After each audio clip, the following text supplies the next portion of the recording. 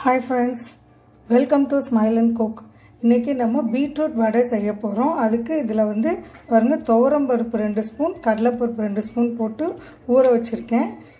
ஒரு two hours ரெண்டு மணி நேரம் ஊறியிருக்கு இப்போ இதை வந்து தண்ணி இல்லாமல் இருத்து எடுத்துட்டு மிக்சியில் போட்டு அரைச்சிக்கணும்.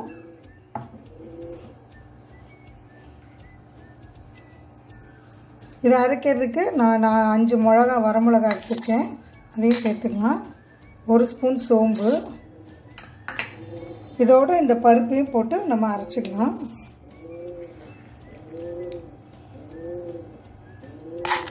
தண்ணியே இருக்கக்கூடாது. ஈரம் இல்லாமல் நல்லா தண்ணி இல்லாமல் அரைச்சிக்கலாம்.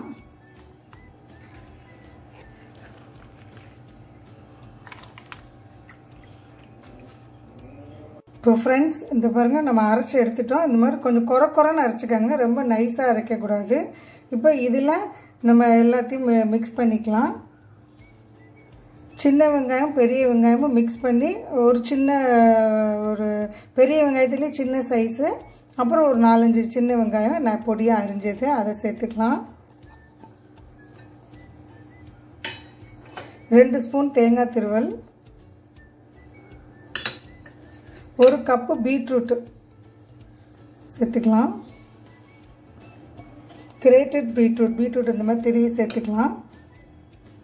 ஒரு மூணு பல் பூண்டு நைஸாக நறுக்குனது மல்லித்தலை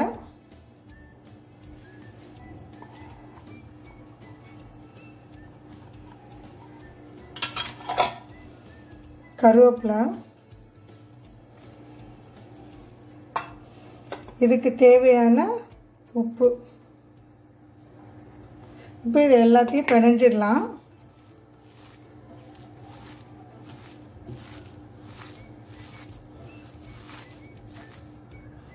ஃப்ரெண்ட்ஸ் இப்போ இந்த பிணைஞ்சாச்சு நல்லா இதை கொஞ்சம் கொஞ்சம் ஒரு சின்ன ஒரு பெரிய நெல்லிக்காய் சைஸ் பால் மாதிரி இல்லை பெரிய லெமன் சைஸ் பால் எடுத்துக்கோங்க.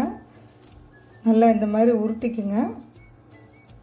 உருட்டிட்டு நல்லா இந்த மாதிரி தட்டிக்கங்க. தட்டி தட்டி இந்த மாதிரி ஒரு பிளேட்டில் எடுத்து வச்சுருங்க.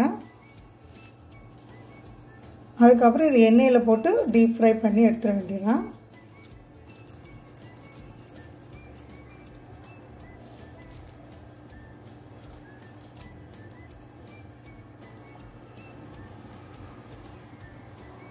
இது பாருங்க இந்த மாதிரி தட்டி தட்டி ரெடி பண்ணி வச்சுக்கோங்க வடை மாதிரி.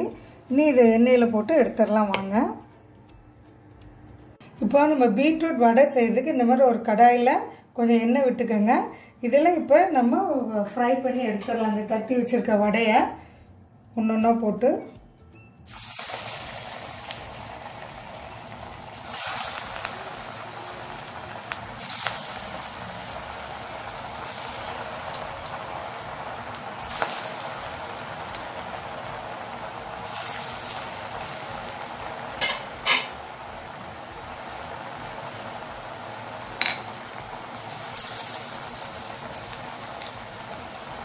பீட்ரூட் கொஞ்சம் இனிக்கும். அதனால் நம்ம காரம் கொஞ்சம் தாராளமாக போட்டுக்கலாம்.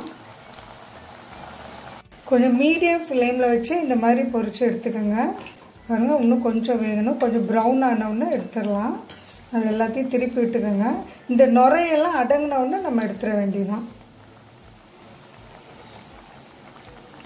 ஃப்ரெண்ட்ஸ் பாருங்கள் இப்போ நுரையெல்லாம் கொஞ்சம் அடங்கிருச்சு. கலரும் மாறிடுச்சு. கொஞ்சம் ப்ரௌன் கலரில் வந்துருச்சு. இப்போ இந்த ஸ்டேஜில் இதை எடுத்துடலாம். இன்னும் ரொம்ப நேரம் விட்டோன்னா எண்ணெயை குடிச்சிடும் பாருங்கள் ரொம்ப எண்ணெய் இல்லாமல் நல்லா அழகாக மொறு மொறுன்னு கிறிஸ்பியாக வடை ரெடி ஆயிடுச்சு. இதை எடுத்துடலாம்.